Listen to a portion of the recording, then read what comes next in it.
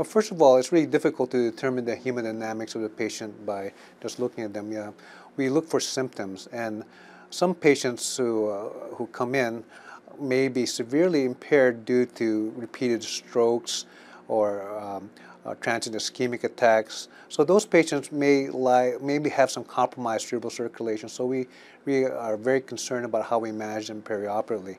Certainly in those patients, uh, we admit them the day before to make sure that they receive adequate amounts of fluids prior to the induction of anesthesia and also the, um, the surgery itself. So uh, it depends again on their symptoms.